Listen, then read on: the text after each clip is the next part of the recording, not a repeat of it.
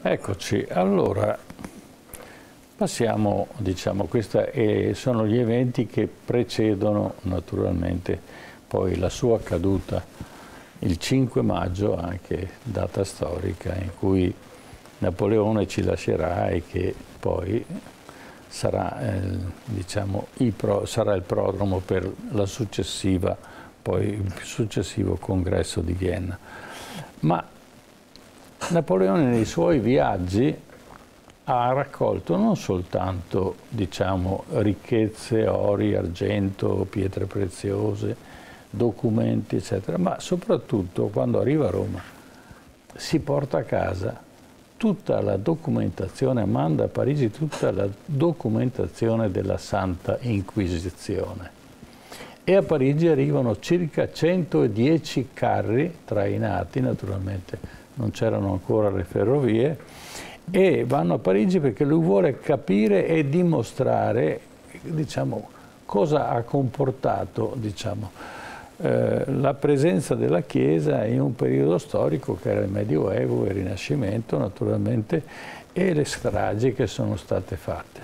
Purtroppo non ho avuto tempo di consultare queste cose e i carri rimasero a Parigi alla fine, del, quando cadde naturalmente Napoleone, fu chiamato il papato e che si interessò per il recupero di queste opere, ma di questi 110 carri ne, sol, ne, tornarono solo 10, quindi gli altri furono abbandonati e non si sa che fine fecero.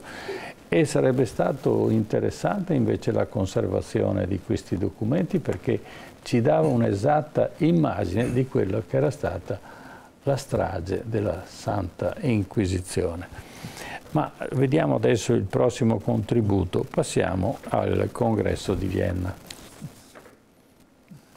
Dopo le guerre napoleoniche, il congresso di Vienna Dopo vent'anni di guerre sanguinarie, i paesi vincitori su Napoleone decisero che bisognava dare un nuovo assetto all'Europa in modo tale da prevenire nuovi conflitti. I principi a cui si ispirò il congresso di Vienna sotto la leadership del rappresentante austriaco Metternich furono quelli della legittimità con il ripristino dei sovrani spodestati da Napoleone e dell'equilibrio politico garantito dalla divisione dell'Europa in sfere di influenza, dalla barriera di stati ai confini della Francia Francia, dall'ingrandimento di Prussia e Regno di Sardegna, dalla limitazione dell'espansione della Russia e dalla funzione di controllo dell'impero austriaco. Il congresso di Vienna si tenne dall'autunno 1814, mentre Napoleone si trovava all'isola d'Elba e si chiuderà nel giugno del 1815 quando Napoleone era scappato dall'isola d'Elba ed era tornato a Parigi, dove rimase imperatore dei francesi per cento giorni. Il duca di Wellington, uno dei rappresentanti inglesi al congresso, lascerà i lavori di Vienna giusto in tempo per andare ad affrontare e sconfiggere Napoleone nella battaglia di Waterloo. Il congresso dura otto mesi, tra feste sfarzose, banchetti, confronti e litigi per decidere il destino dei popoli d'Europa, un destino ancora una volta calato dall'alto perché con la caduta di Napoleone ritorna il principio secondo cui sono i sovrani e i loro ministri a decidere per il bene di tutti, ma senza consultare nessuno. È la restaurazione, l'idea di rimettere al loro posto le vecchie dinastie regnanti e di ridisegnare i confini degli stati per garantire una pace duratura. Tra i partecipanti fu ammessa anche la Francia, considerata colpevole ma anche vittima degli avvenimenti. Questo grazie all'azione diplomatica di Charles Talleyrand, ex vescovo e rivoluzionario francese, che era diventato ministro degli esteri del re di Francia Luigi XVIII, che si presentò come il difensore dei piccoli stati e che non avrebbe chiesto nulla per il proprio paese. Le discussioni del congresso di Vienna, che non si svolsero mai in sessione plenaria, ma in riunioni informali tra potenze, continuarono malgrado la fuga di Napoleone dall'esilio sull'isola d'Elba.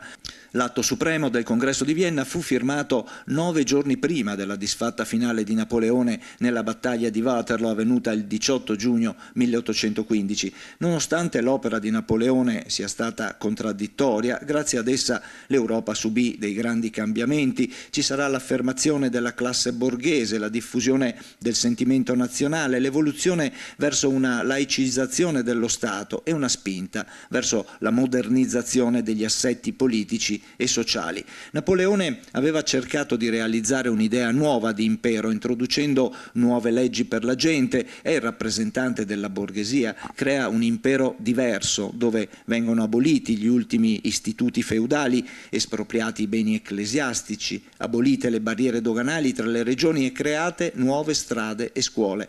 Consolida alcune delle conquiste della rivoluzione francese come l'uguaglianza di tutti i cittadini e la laicità dello Stato suo il codice napoleonico del 1804 che è il primo codice civile moderno. Sarà istituito il diritto fallimentare, il catasto, i cimiteri e verrà sviluppata la conservazione degli alimenti e anche il cibo in scatola. Una rivoluzione industriale, una rivoluzione della conservazione del cibo che è fondamentale questo avveniva perché proprio Napoleone aveva bisogno di fare grandi spedizioni e quindi doveva mantenere l'alimentazione di, di, di, un esercito molto importante e molto potente. Eh, professor Zanella. Sì, la strategia militare di Napoleone è proprio quella di garantire il massimo della sussistenza alle truppe eh, perché fossero in grado di combattere, ma anche perché non perdessero tempo in primis.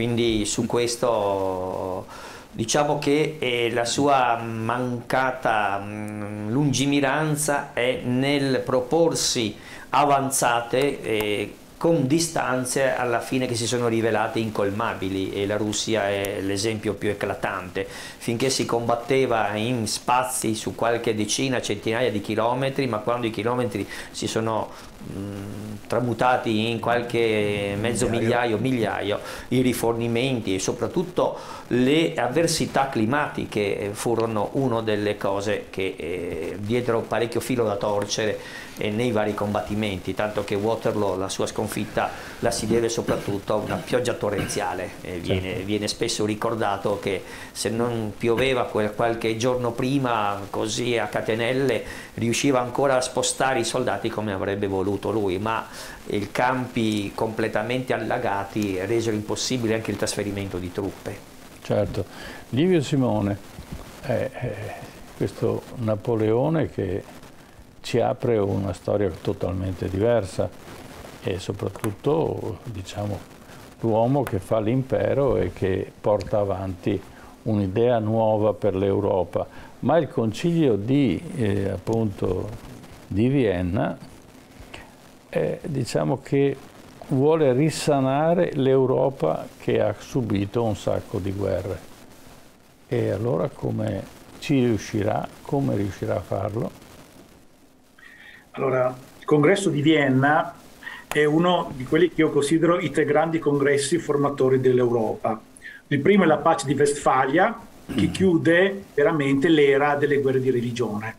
Dalla pace di Westfalia in avanti non si, non si combatterà più in Europa per motivi religiosi, a parte tempi molto molto recenti. Il congresso di Vienna fondamentalmente eh, ha un grande problema. Il problema è che si è risvegliato il senso della nazione, il senso di appartenenza a qualcosa che non è più identificato in una figura fisica, cioè in un re, ma in un sentimento uh, che è veramente difficile da definire. Poi in alcuni casi può essere la lingua, ma ad esempio in Italia inizia a svilupparsi un senso di italianità a fronte in realtà di una lingua non comune, perché se vogliamo l'italiano è una lingua che fondamentalmente nasce prendendo da Dante proprio nell'Ottocento. Eh, però indubbiamente inizia ad avere un senso di italianità. Si crea un senso forte nella Spagna, proprio legato alla, alla guerra contro i francesi. Si hanno i discorsi di Fichte alla nazione tedesca, quindi in Germania si sviluppa il senso della, proprio dell'essere tedesco. In Polonia, la Polonia eh, riscopre il, il desiderio di essere nazione. Quindi il congresso di Vienna ha, da un lato deve confrontarsi con quello che poi in realtà sarà il sentimento che metterà fine al sistema di equilibrio delle potenze che proprio verrà creato a Vienna. Diciamo che i cento anni successivi sono proprio il tentativo delle nazioni di scardinare il sistema di equilibrio delle potenze creato a Vienna. Dall'altro lato deve, eh, c'è un desiderio di legittimità, c'è chi ha vinto la guerra e giustamente ha subito, pensiamo agli stati tedeschi, ma pensiamo in primis alla dinastia dei Borboni che rientra in Francia e quindi c'è questa diciamo, volontà di Pensiamo al Papa, il Papa nel Pio eh, VII è stato tenuto quasi in prigionia a Fenestrelle, quindi c'è tutto questo desiderio, se non proprio di rivalsa, ma almeno di ritorno dei governanti nei propri territori. E il terzo punto è il desiderio sentito da tutti di eh, avere un periodo di pace. Dopo vent'anni di guerre effettivamente devastanti, si è alla ricerca di un equilibrio, di una pace.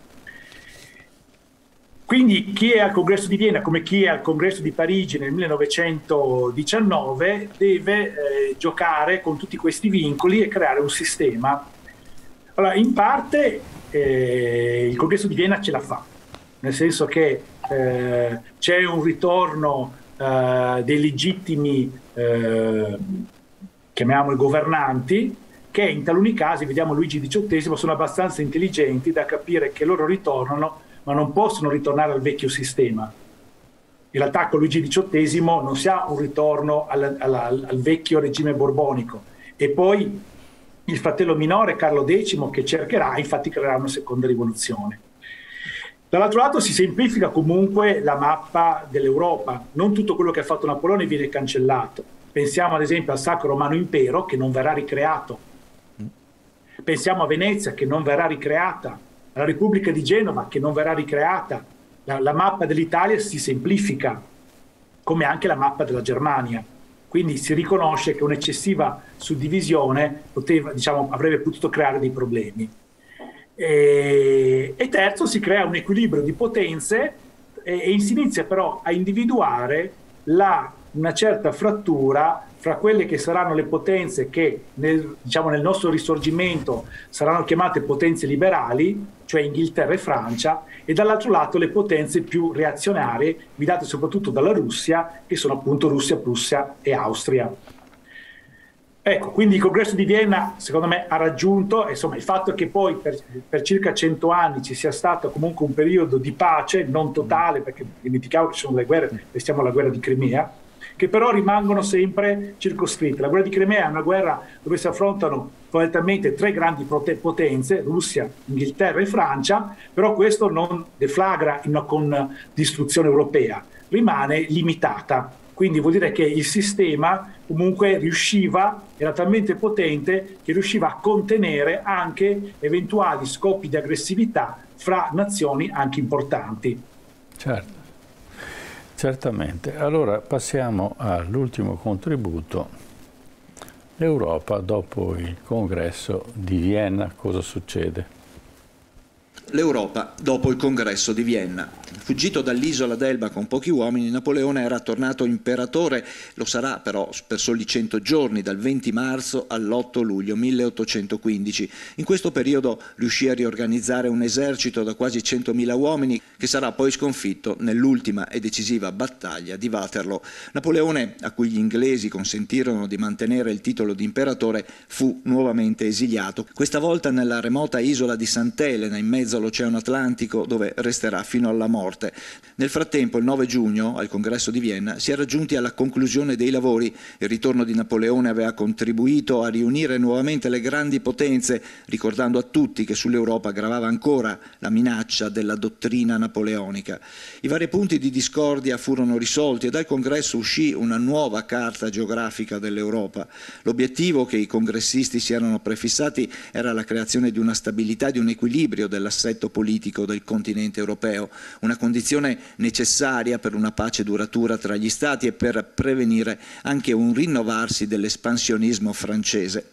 Gli obiettivi delle potenze vincitrici si rivelarono però diversi e così i più significativi provvedimenti presi al Congresso dal punto di vista territoriale riguardarono l'Europa centrale e la penisola italiana. L'Inghilterra preferì consolidare la sua supremazia navale con l'acquisizione di colonie come Malta e Ceylon e in più si vide assegnare il regno di Hannover. La Russia ottenne gran parte del Ducato di Varsavia, che prenderà il nome di Polonia del Congresso, e poté conservare il controllo della Finlandia, della Bessarabia, territorio oggi situato tra Ucraina e Moldavia. La Francia, riportata ai confini del 1792, evitò gravi perdite territoriali, ma si trovò attorniata da stati cuscinetto per limitarne l'azione, come il nuovo regno delle Province Unite, cui furono annessi i territori dei Paesi Bassi, già governati dall'Austria e ora assegnati al principe d'Orange. Il regno di Sardegna, retto da Vittorio Emanuele I di Savoia, fu ingrandito dall'annessione della Savoia e dall'acquisizione dei territori dell'ex Repubblica Ligure. Nonostante il congresso si fosse concluso con l'affermazione delle grandi potenze, gran parte di quanto fu deciso non durò a lungo. Il tentativo di creare una confederazione di stati tedeschi in Germania e quello di mantenere un'Italia divisa in piccoli potentati portò a una serie di insurrezioni e guerre di unificazione che durarono per i 50 anni successivi. Il tentativo di sedare i sentimenti nazionalistici che la rivoluzione francese e Napoleone avevano disseminato in tutta Europa provocarono proteste, rivolte e insurrezioni che avrebbero portato poi ai moti rivoluzionari del 1848. Anche in Francia la restaurazione dei Borbone fallì. Nel giro di pochi anni la dinastia venne sostituita e 15 anni dopo la Francia tornò ad essere una repubblica. La novità introdotta dal congresso di Vienna e che sopravvisse negli anni fu l'idea che i grandi conflitti e le questioni internazionali andassero risolte da riunioni a cui prendevano parte tutte le nazioni coinvolte. Era nata una cultura politica della diplomazia in Europa. Questo, a distanza di un secolo, avrebbe portato alla nascita della Società delle Nazioni e poi, dopo la fine del secondo conflitto mondiale, a quella delle Nazioni Unite.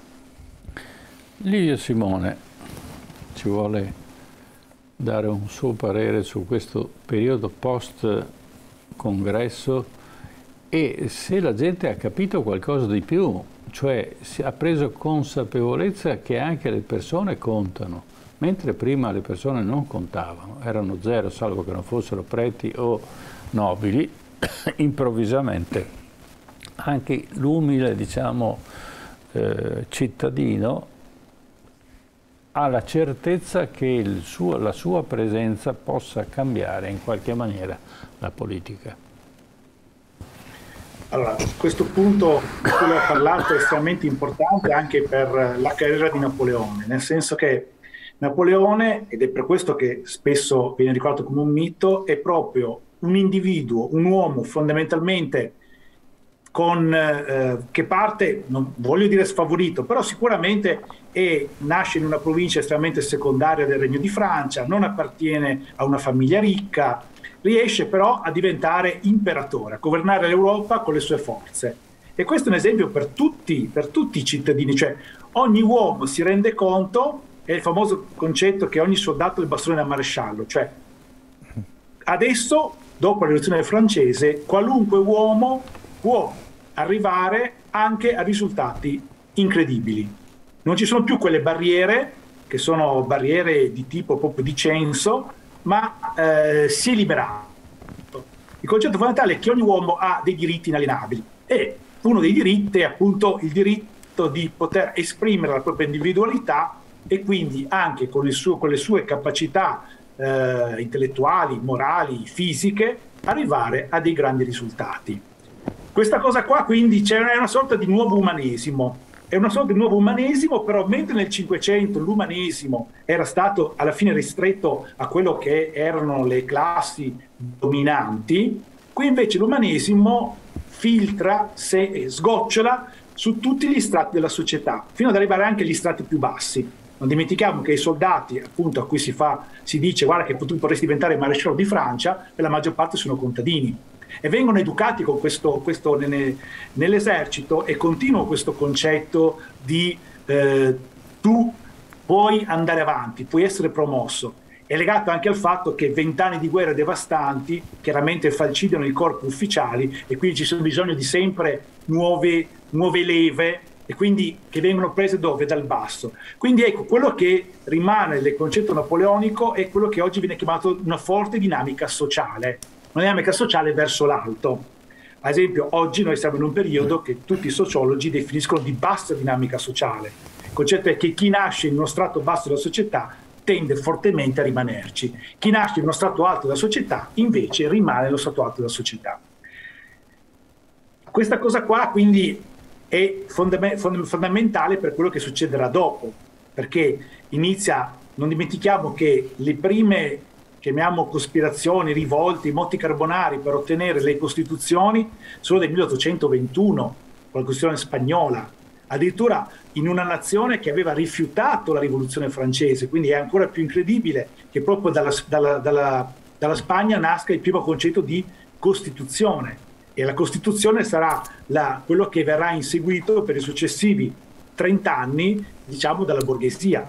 Costituzione però vuol dire anche libertà di stampa, ad esempio, quindi è molto forte la spinta a potersi libertà di associarsi, quindi proprio di eh, libertà di esprimersi attraverso il mezzo stampato, attraverso la parola.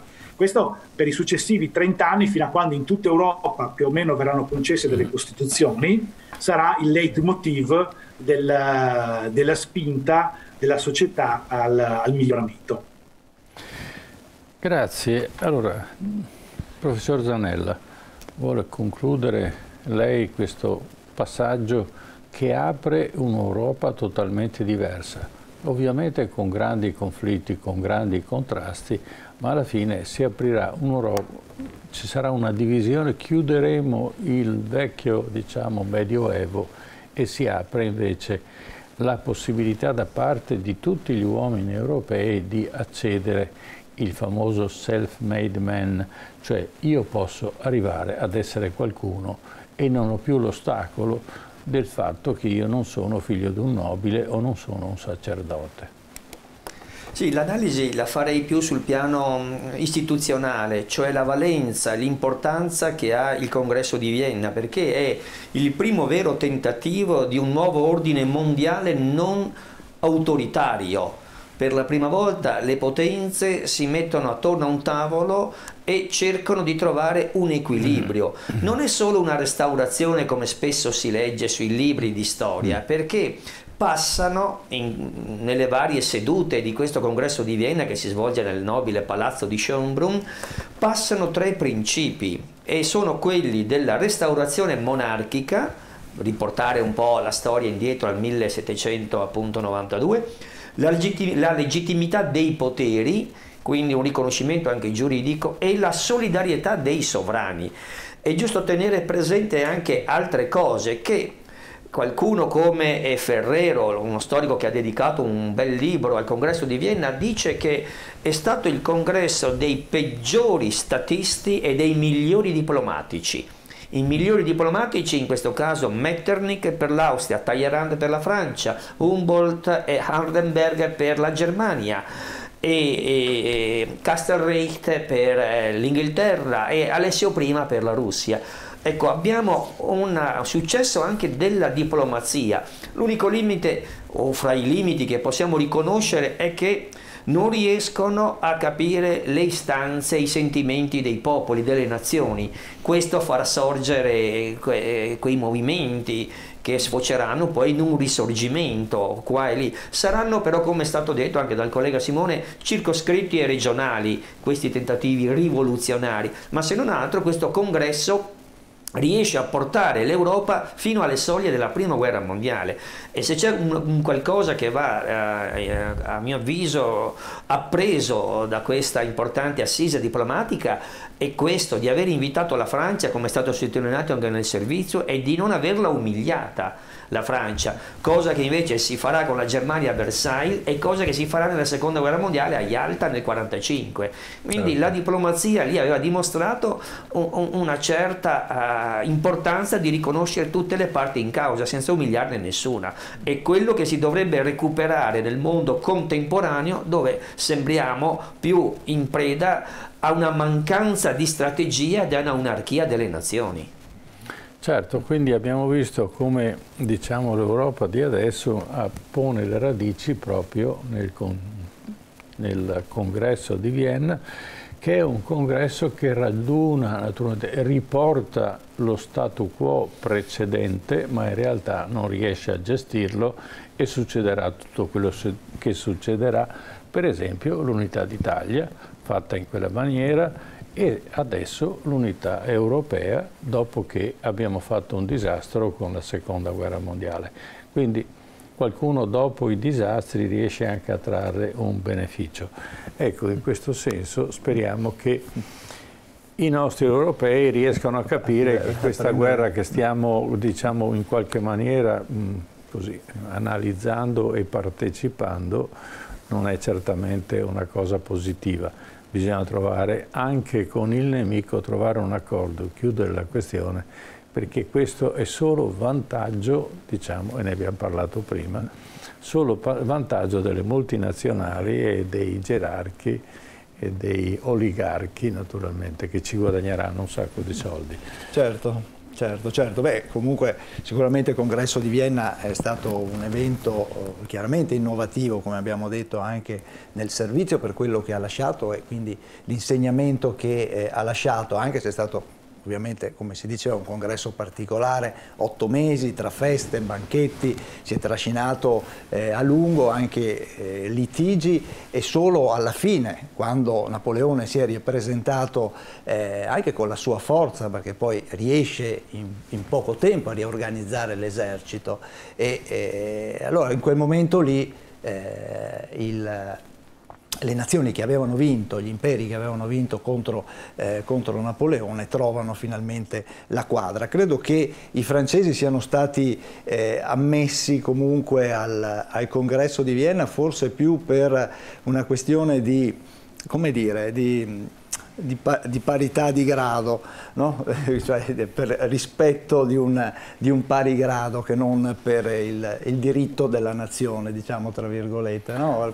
Diciamo a quell'epoca tra nobili, diciamo probabilmente. Il diritto lo faceva il, il nobile, quindi hanno gestito le cose in questa maniera, ma d'altro canto se non l'avessero fatto avrebbero creato una falla in Europa, cioè avrebbero escluso la Francia e creato un, un equilibrio che sarebbe stato ulteriormente diciamo, negativo per gli altri stati e per la restaurazione, quindi viene messo un re a sua volta e in Francia, solo che naturalmente i tempi sono cambiati, la gente si è svegliata, ha capito che le cose non erano, non potevano continuare come nei, nel secolo precedente e quindi si è eh, diciamo, il sistema si è assestato in un'altra maniera e saranno poi i prodromi della prima guerra mondiale che porterà al primo disastro e, e poi, poi le certo. premesse per la seconda certo, guerra mondiale. Nel momento in cui cadono gli imperi arrivano poi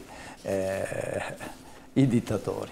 Bene, allora ci fermiamo qui. Allora, innanzitutto grazie agli ospiti che sono stati con noi in collegamento, dottor Livio Simone, grazie, vicepres vicepresidente dell'Associazione Napoleonica d'Italia e in studio il professor Patrizio Zanella, docente Buonanotte, di storia buonasera. e giornalista che eh, abbiamo con noi. Eh, frequentemente, grazie per la disponibilità. Noi eh, prima di salutarci come sempre eh, parliamo dei nostri ospiti eh, silenziosi, eh, purtroppo per nessuno dei tre eh, ci sono novità particolari per Julian Assange, non è ancora arrivata la decisione eh, del, della ministra dell'interno britannica eh, Priti Patel sulla sua estradizione, però è arrivato un, un appello della rappresentante della OSCE per la libertà eh, dei media, Teresa Ribeiro, che ha invitato le autorità britanniche a non estradare Julian Assange negli Stati Uniti. Voglio esprimere, ha detto, la mia preoccupazione preoccupazione per l'impatto che tale decisione